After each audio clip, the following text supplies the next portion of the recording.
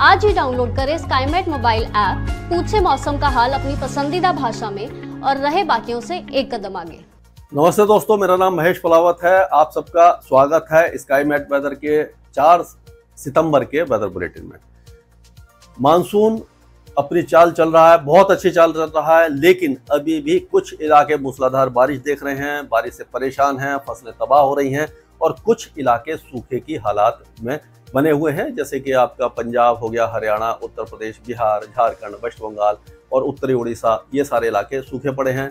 तमिलनाडु के भी ज़्यादातर इलाके सूखे पड़े हुए हैं, लेकिन राजस्थान में अच्छी बारिश हुई है, गुजरात में बहुत अच्छी बारिश हुई है, मध्य प्रदेश में लगातार बारिश हो रही है, महाराष्ट्र के भी कई इलाके अच्छी बारिश देख रहे हैं। सबसे बड़ी बात है कि और तटीय आंध्र प्रदेश जो है, वहाँ पर भी मूसलाधार बारिश की गतिविधियाँ हुई हैं। अब क्या होता है कि जो लो प्रेशर एरिया बनते हैं जुलाई और अगस्त सबसे ज़्यादा बारिश वाला महीना होता है। 28 सेंटीमीटर के आसपास जुलाई में बारिश होती है अगस्त में 25 सेंटीमीटर के आसपास होती है। 16.7 सेंटीमीटर यानी कम हो जाती है बारिश जो होती है आपकी सितंबर में। और 16.5 सेंटीमीटर के आसपास जून में। जून और सितंबर में कम होती है और बीच वाले जो महीने हैं वो सबसे ज़्यादा बारिश वाले होते हैं। जून में क्यों होती, कम होती है कि एक जून को यानी कि फ़र्स्ट जून को यहाँ पर जो ये मानसून है वो पहुँचता है वो फ़र्स्ट जून को केरल में पहुँचता है और यहाँ पर जो पहुँचता है वो आठ जुलाई को पूरे उसको कवर कर जाता है। लेकिन अगर देखा जाए तो मानसून जो है, यहाँ पर जो जो दिल्ली के आसपास अगर देखें तो 27 जून को पहुँचता है। यानी एक जून से लेकर के 27 जून पहुँचने में टाइम लगता है तो जून में धीरे धीरे बारिश पहले यहाँ पर बढ़ती है, यहाँ पर बढ़ती है, इस तरह से बढ़ती है और फिर आगे बढ़ती है। तो क्या होता है कि उसका कारण ये है कि ये जो मानसून है, वो जून में पूरी बारिश नहीं दे पाता क्योंकि जो सेंट्रल इंडिया तक और ईस्ट इंडिया तक ही पहुँच पाता है और जून के आखिर में जाकर के पूरे भारत को कवर करता है, इसीलिए बारिश कम होती है। और सितंबर में क्या होता है कि जो अभी क्या होता है कि 17 सितंबर से जो मानसून है, यहाँ से विड्रॉ होना शुरू हो जाता है पश्चिमी राजस्थान से और 15 अक्टूबर तक 15 अक्टूबर तक ये पूरे जगह से विड्रॉ हो जाता है। तो अगर आधे महीने में ही अगर विड्रॉ होना शुरू हो जाएगा तो नेचुरल है कि बारिश की गतिविधियाँ कम हो जाएँगी। ऑलरेडी जो टोटल एवरेज है, वो बारिश कम हो जाती है। यही कारण है कि सितंबर में और जून में बारिश कम होती है और बाकी जितने भी वो हैं जुलाई और अगस्त, उसमें काफ़ी ज़्यादा बारिश होती है। जुलाई सबसे ज़्यादा बारिश वाला महीना माना जाता है। अब जो बारिश की गतिविधियाँ हम देख रहे हैं, पिछले कुछ सालों से यहाँ से, ये जो इलाका है, ये सेंट्रल इंडिया का जो हिस्सा है, यहाँ पर, राजस्थान के जो पूर्वी है और दक्षिणी है, और दक्षिण पूर्वी है, गुजरात के कई इलाके हैं। अब मध्य प्रदेश है, छत्तीसगढ़ उड़ीसा के दक्षिणी इलाके, विदर्भ, मराठवाड़ा, ये जो इलाके हैं, और उत्तरी आंध्र प्रदेश, यहाँ पर जो बारिश की गतिविधियाँ ज़्यादा हो रही हैं। जबकि पहले जो हमारा, ये जो उत्तर भारत है, गंगा के मैदानी क्षेत्र, यहाँ पर भी बहुत अच्छी बारिश हुआ करती थी। और ये एट्टीज़ और नाइन्टीज़ की बात है।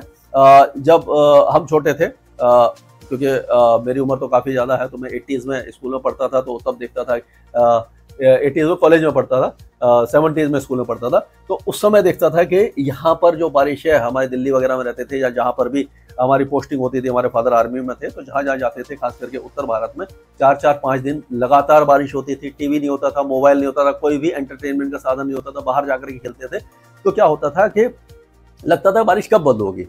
क्योंकि वो रिमझिम बारिश होती थी। न वो तेज होती थी, न न बिल्कुल ही बंद होती थी और होती रहती थी। तो उस तरह की बारिश अब बंद हो गई है। क्लाइमेट चेंज का असर है। अब जो बारिश होती है, वो चार या पाँच दिन में जो बारिश टोटल हुआ करती थी, वो अब दो या तीन घंटे में हो जाती है। अब बच्चों को वैसे तो बाहर जाने की ज़रूरत ही नहीं पड़ती कि मोबाइल और टीवी वगैरह, ये बहुत सारे गैजेट्स हैं। लेकिन अगर वो बाहर जाना भी चाहें खेलने तो क्या है कि उन्हें मालूम है कि बारिश हुई है, एक घंटे, डेढ़ घंटे में खत्म हो जाएगी, उसके बाद हम जा सकते हैं। तो ये जो चेंजेज आए हैं ये एक क्लाइमेट चेंज का असर है और ऊपर से जो लो प्रेशर एरिया यहाँ पर बनते थे, पहले क्या होता कि यहाँ पर बनते थे और ये एक्सेस ऑफ़ मानसून तरफ़ इस तरह से आगे जाते थे और ये लो प्रेशर एरिया इसी के साथ साथ आगे बढ़ते थे। यानी कि ये उत्तर पश्चिम दिशा में आगे बढ़ते थे तो इसका असर क्या होता था? उड़ीसा, झारखंड कभी कभी बिहार, उत्तर प्रदेश, पंजाब, हरियाणा और ये दिल्ली वगैरह पर दिखाई देता था। लेकिन अब क्या है कि क्लाइमेट चेंज के कारण क्या हुआ है कि मानसून का जो पैटर्न है वो अब बदलना शुरू हुआ है। उससे क्या हुआ है कि जो, यहाँ पर जो लो प्रेशर एरिया बनते हैं, ये अब जो बनते हैं, ये तो ये इस तरह से वेस्ट नॉर्थ वेस्ट में ये कभी जाते हैं, कभी वेस्ट में चले जाते हैं तो इनका जो रूट है वो इस तरह से है। तो अब मध्य भारत को बारिश ज़्यादा मिल रही है तो ये उत्तर भारत जो है वो लगभग सूखा रह जाता है। पहले मध्य भारत सूखा रह जाता था तो ये जो क्लाइमेट चेंज के कारण मानसून का शिफ्ट हुआ है, ये भी एक बहुत बड़ा फैक्टर है, जो फ़सलों को इम्पैक्ट कर रहा है, किसानों को इम्पैक्ट कर रहा है, और ये आगे भी इसी तरह से चलता रहेगा। आठ दस साल तो ये बदलने वाला नहीं है। अगर हम क्लाइमेट चेंज के इफ़ेक्ट को रिवर्स करते हैं तो भी थोड़ा सा फ़र्क पड़ने वाला है। अब देखिए मैं जल्दी जल्दी अब क्योंकि मैंने ज़्यादा टाइम ले लिया। लो प्रेशर एरिया अब आगे आ जाएगा। ये यहाँ पर आ जाएगा। ऑलरेडी आ चुका है। समझ लीजिए कि उत्तरी गुजरात और राजस्थान के आसपास एक नया लो प्रेशर एरिया बनने वाला है। तो तरफ़ नीचे रहेगी। गंगा के मैदानी क्षेत्रों में थोड़ा सा अभी मॉइस्चर आना शुरू हो जाएगा। इसके कारण क्या होगा कि यहाँ से ये जो मॉइस्चर है यह आना शुरू हो जाएगा और ये ट्रफ थोड़ी सी ऊपर आ सकती है। तो उसके कारण क्या होगा कि कल से, पाँच तारीख से हरियाणा के कुछ इलाके, दिल्ली और उत्तर प्रदेश के इलाकों में और बिहार के कुछ इलाकों में बारिश की गतिविधियाँ शुरू हो सकती हैं। तो ये एक अच्छा इंडिकेशन दिखाई दे रहा है। अगर हम मॉडल देखें तो आप देखिए कि ये आप देखिए कि जो उत्तर प्रदेश के कई इलाके हैं, हिमाचल है, उत्तराखंड है, यहाँ पर अच्छी बारिश होगी, जम्मू कश्मीर गिलगिट बाल्टा मुजफ्फराबाद, लद्दाख में बारिश नहीं होगी, पंजाब में भी ना के बराबर बारिश होगी, हरियाणा के केवल पूर्वी जिलों में बारिश दिखाई देगी आपको।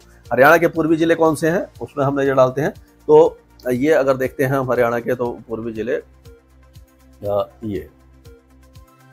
जैसे कि अम्बाला, यमुनानगर, कुरुक्षेत्र, करनाल पानीपत, सोनीपत और रोहतक, झज्जर रेवाड़ी गुरुग्राम, फरीदाबाद नूह पलवल, ये जो इलाके हैं और दिल्ली, एनसीआर में बारिश की संभावना दिखाई दे रही है।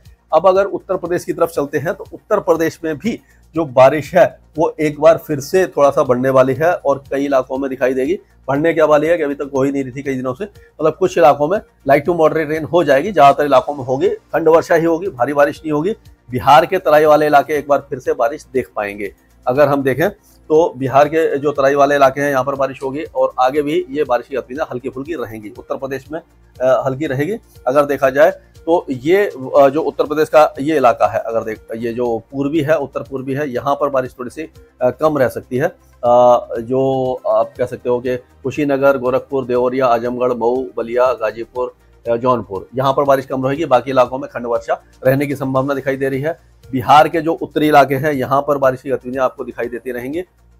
ये जो है आपका चंपारण है और गोपालगंज है, मुजफ्फरपुर, सीतामढ़ी सीहोर मधुबनी, दरभंगा, समस्तीपुर, सहरसा माधेपुरा, पूर्णिया, अररिया, किशनगंज, सुपौल और ये कटिहार वगैरह। ये जो इलाके हैं, यहाँ पर थोड़ी अच्छी बारिश हो जाएगी। बाकी इलाके लगभग साफ़ रहेंगे। बहुत ज़्यादा वेदर एक्टिविटी की संभावना यहाँ पर दिखाई नहीं दे रही है हमें।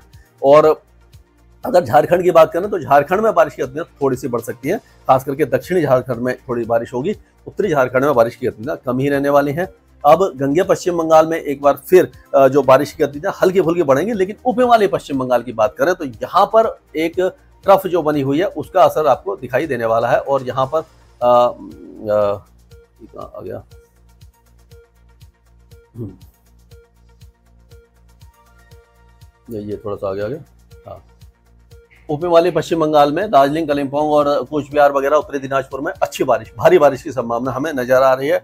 और उसी तरह से सिक्किम से लेकर के जो उत्तरी इलाके हैं जो से कि असम है मेघालय, अरुणाचल प्रदेश और नागालैंड, यहाँ पर अच्छी बारिश है। मणिपुर, मिजोरम, त्रिपुरा में बारिश कम रहेगी, क्योंकि एक ट्रफ है जो उत्तर के यानी पूर्वोत्तर राज्यों में, यानी उत्तरी बिहार से लेकर के पूर्वोत्तर राज्यों तक जा रही है, उसका कारण से ये बारिश की गतिविधियाँ बढ़ सकती हैं। अब अगर हम ये फिर राजस्थान की तरफ़ चलते हैं तो राजस्थान के जो दक्षिणी इलाके हैं, यहाँ पर तो बारिश की गतिविधियाँ काफ़ी अच्छी रहने की संभावना अगले दो या तीन दिनों तक दिखाई दे रही है। ये जो इलाका है, ये पूरा इलाका बारिश देखेगा। आपका कोटा, बारा, झालावाड़ चित्तौड़गढ़, राजसमंद, सिरोही, जालौर डूंगरपुर और बांसवाड़ा, प्रतापगढ़, उदयपुर। ये जो इलाके हैं, यहाँ पर अच्छी बारिश है। बाकी इलाकों में खंड वर्षा होगी, लेकिन ऐसा दिखाई दे रहा है कि आपका जो गंगानगर है, हनुमानगढ़ है और बीकानेर का जो पश्चिमी इलाका है, वहाँ पर थोड़ी कम होगी बारिश और जैसलमेर के पश्चिमी इलाकों में भी बारिश कम हो सकती है। बाकी इलाकों में खंड वर्षा होने की चांसेज हमें दिखाई दे रहे हैं। मध्य प्रदेश में अब क्या होगा कि जो बारिश की गतिविधियाँ हैं, वो पूर्वी मध्य प्रदेश में एक बार फिर से शुरू हो जाएँगी, लेकिन जो बीच वाले हिस्से हैं, वहाँ कम हो जाएगी। यहाँ सतना, रीवा सिद्धि सिंगरौली, उमरिया, सरदौल, डिंडोरी, मांडला, जबलपुर, दमोह, ये सारे इलाके फिर से बारिश देखेंगे। लो प्रेशर का असर दिखाई देगा और जो दक्षिण पश्चिमी इलाके हैं, यहाँ पर बारिश की दुनिया लगातार अभी जारी रहने वाली है। कम ज़्यादा होती रहेगी, लेकिन हाँ बारिश यहाँ पर होती रहेगी। छत्तीसगढ़ में भी बारिश की दुनिया बढ़ने वाली है, पूरे छत्तीसगढ़ में बढ़ेंगे अगले एक दो दिनों के दौरान, लेकिन बहुत ज़्यादा भारी बारिश आपको दिखाई नहीं देने वाली है। उड़ीसा के लिए भी एक अच्छी खबर यही है कि उड़ीसा में अब जो बारिश है, वो थोड़ी सी आपको कई इलाकों में दिखाई दे जाएगी। और ये कारण इसका यही रहेगा और खास करके फिर भी अभी भी मयूरभंज बालासोर और सुंदरगढ़ वगैरह जो किजोनगढ़ है यहाँ पर बारिश कम होगी। बाकी इलाकों में तेज बारिश की संभावना इसलिए दिखाई दे रही है कि लो प्रेशर एरिया बन, बनने वाला है और वो अंदर की तरफ़ जाएगा तो दक्षिणी उड़ीसा के ऊपर होकर जाएगा। तो उड़ीसा में बहुत अच्छी बारिश की संभावना दिखाई दे रही है। अब अगर और आगे चलते हैं हम और देखते हैं कि ये महाराष्ट्र की बात करते हैं। इससे पहले एक मिनट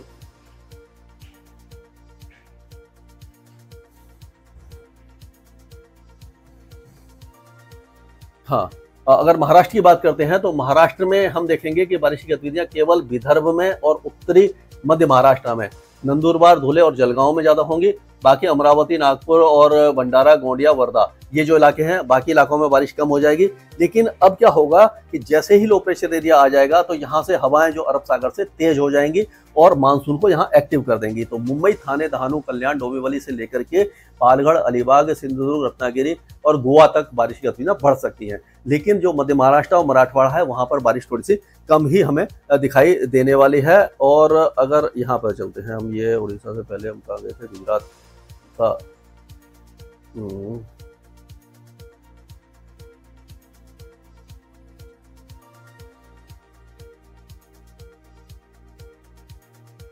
हाँ।